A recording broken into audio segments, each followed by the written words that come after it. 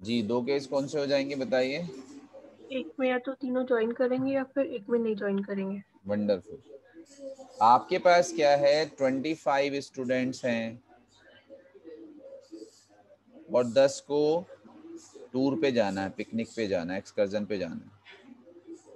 Answer था without any condition twenty five C ten but हुआ क्या? There are three students decide that either all of them will join or none of them will join तो यहाँ पे हमारे पास इस 25 में से तीन स्टूडेंट जो है ना, वो पक्के वाले दोस्त हैं। कि सर, या तो हम तीनों जाएँगे। भाई, मान लीजिए 25 स्टूडेंट थे जाने 10 थे तो लॉटरी सिस्टम हो गया। जिसका दाम निकल जाए, कौन से 10 तो हम चले जाएँगे। लेकिन उन तीनों ने कहा, नहीं सर लॉटरी वोटरी मत निकालो। हमें या तो तीनों को ले चलो या फिर कोई सा भी नहीं जाएगा। तो हमारे पास क्या हुआ कि तीन रह गए। अलग और ट्वेंटी टू हो गए अलग।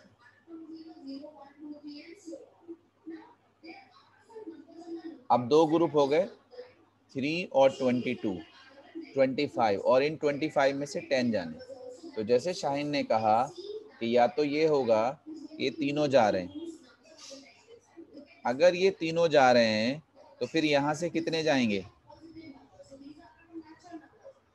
हाँ भाई टोटल तो टेन जाने तो यहाँ से कितने जाएँगे? जी बेटे ये तीनों जाएँगे तो रिमेनिंग ट्वेंटी टू में से सेवन जाएँगे। तो फिर हमारे पास टोटल कितने हो जाएँगे? Ten yes or no yes sir हाँ भाई सब बच्चे बताओ। तो आपके पास जो आंसर होगा आपके पास आंसर होगा कि भाई इन तीनों में से तीनों गए थ्री सी थ्री और जो रिमेनिंग ट्वेंटी टू थे उसमें से सेवन गए। लेकिन एक ऑप्शन ये भी हो सकता है कि नहीं भाई तुम मत जाओ। तो इसमें से कोई नहीं जा रहा। तो अगर इसमें से कोई नहीं जा रहा तो ट्वेंटी टू में से कितने जाएँगे? ट्वेंटी टू सी टेन क्योंकि जाने तो टेन ही है तो फिर सारे के सारे टेन यहीं से लेने पड़ेंगे। तो ऑप्शन क्या होगा? Three C zero into twenty two C ten. तो ये प्लस हो जाएगा। यस सर नो सब बच्चे बताइए।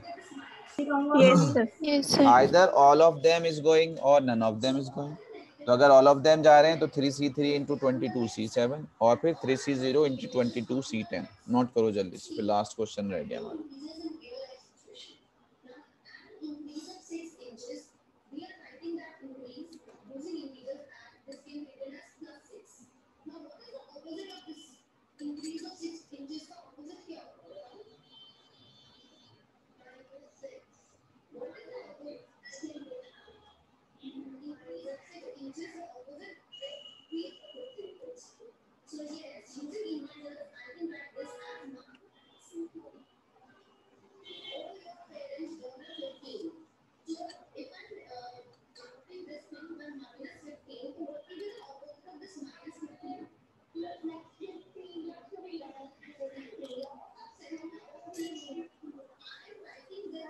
समझ में आ गया? लास्ट क्वेश्चन देखो भाई।